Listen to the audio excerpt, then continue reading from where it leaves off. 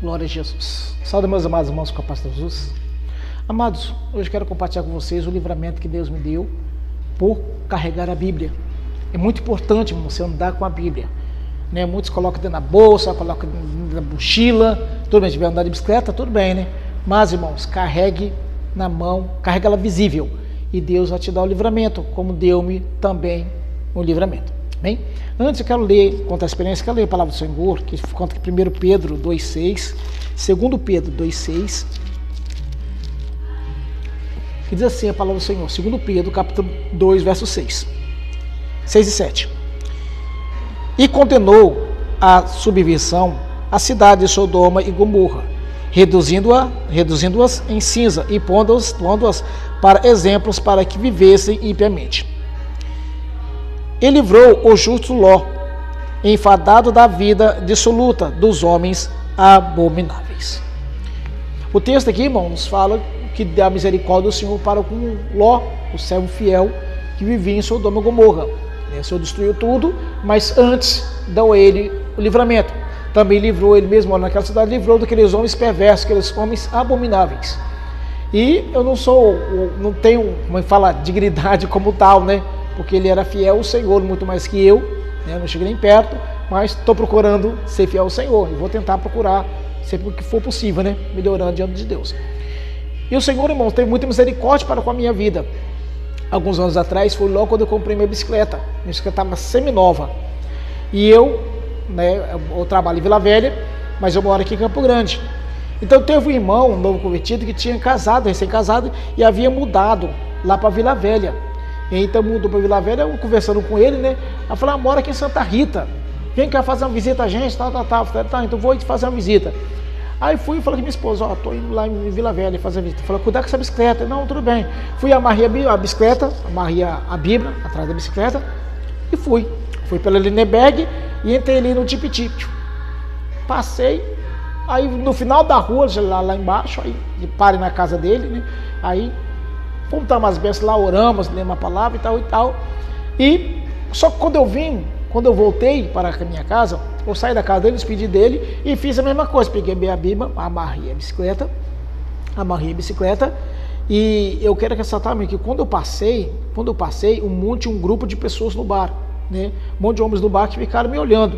Mas como era um bar estranho, né, para mim, eu sou estranho realmente, causa impacto. A pessoa um estranho entrou aqui, a pessoa quer ver quem é, o que está acontecendo e tal e tal. Mas não levei em conta aquilo não. Só que na volta eu fiz o mesmo, amarrei a bicicleta, amarrei a, Bíblia na bicicleta e vim pedalando, a bicicleta vinha. Quando eu estava distante do bar, quando eles viram que eu vinha, todos eles saíram para fora, com a intenção de levar a minha bike. Aí vieram, estão chegando na calçada assim, aí eu olharam, eu, eu, eu, quando eu olhei para eles, eles olharam para mim e depois olharam para o bagageiro da bicicleta é onde estava a Bíblia. Então eles fixaram, como se fosse um imã, eles fixaram os olhos no bagageiro da bicicleta e a bicicleta eu fui passando e eles só me olhando e ficaram só vendo indo embora. E Deus me deu um livramento por causa da Bíblia. É muito importante irmão, andar com a palavra do Senhor. Hoje nós vemos cristãos né, que infelizmente não andam mais com a Bíblia, andam com o celular. Acha que é a mesma coisa. Não é, tá irmãos? Mas isso é para outro vídeo. A Bíblia e as Sagradas Escrituras não é a mesma coisa, mas isto é a situação, é, é, a, é a explicação para outro vídeo. Então é importante, irmão, você andar com a Bíblia. É importante você viver com a Bíblia. Vai para a igreja, deixa ela bem visível. Né? Muitas vezes a pessoa não, não anda com a Bíblia porque tem vergonha. Vergonha por quê? Porque muitas vezes dá mau testemunho, xinga, fala piada imoral, mexe com a mulher dos outros. Então, quando ele sai na rua, ele tem que. Podem descobrir que eu sou crente, porque se descobrir que eu sou crente, então vão, vão querer jogar na minha cara. Então, às vezes compra aquelas bíbliazinhas, né? Coloca no bolso, esconde. Outra hora coloca a Bíblia dentro de uma bolsa, sacola no supermercado, como já vi. Estou falando que já vi isso, irmão. Irmãos pegam o sacola no supermercado, coloca a Bíblia dentro e vem com a Bíblia, como se fosse um, um, um quilo de feijão de arroz, apesar que a Bíblia alimenta, né? Mas como se fosse um, um arroz, um alimento. Então, escondendo a Bíblia, escondendo o Evangelho. A Bíblia fala, ai dos tímidos, irmãos.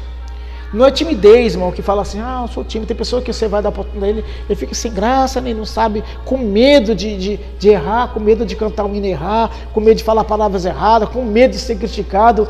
Se é essa timidez, não é essa timidez que a Bíblia condena. Quando a Bíblia fala, ai dos tímidos. A Bíblia condena, ela fala dos tímidos, daquele que tem vergonha do Evangelho. Aquele que tem vergonha de andar com a palavra de Deus. Aquele que tem vergonha de dizer que é cristão, que é crente. Que infelizmente é, as pessoas, elas têm uma grande parte das pessoas têm vergonha de andar, de dizer que é servo de Deus, que serve o Senhor Jesus. Também por causa do amigo, por causa de família, por causa de parentes, por causa de amigos, negam a fé. Então, ande com a sua palavra. Se eu não tivesse com a Bíblia, irmãos, eu teria perdido a minha bicicleta semi-nova. Tinha acabado de sair da loja.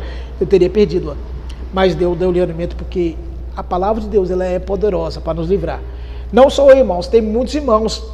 Eu conheci muitos irmãos que ganhou, ganhou livramento por causa da Bíblia. Teve um pastor, um pastor da nossa igreja lá de Santo André, né, irmão José da Silva. Na época ele ia de, morava em Itapimirim, parece, ele ia de bicicleta. Ele voltava de bicicleta. E quando ele passou, ali terminal de Campo Grande ali, ele estava em reforma, né? Aí ele disse que passou de bicicleta, os camaradas pararam ele.